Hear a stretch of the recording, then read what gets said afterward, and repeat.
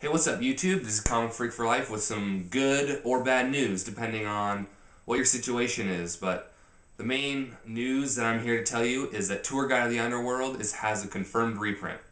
Now, I just found about out about this from Cyber Knight 8610's uh, video, but uh, I'm just making this quick video so that all you guys know. But the main gist of it is that Konami is coming out with a new thing called Battle Pack, something like that.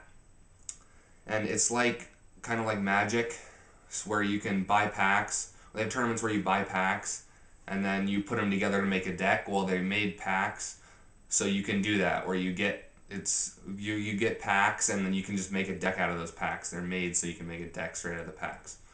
But uh, they announced that uh, Tour Guide from the Underworld is getting reprinted in it. Fabled Raven. Uh, there was a couple others like I think it was Tiras or Adreus, and then Forbidden Lance, Doomcal.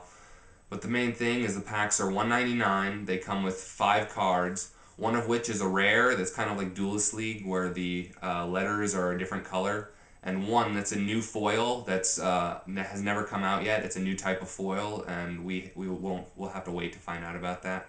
But the thing is, like Magic and other card games, where every single card in the set is a possible hollow, so uh, you can pull a hollow of any card from the set.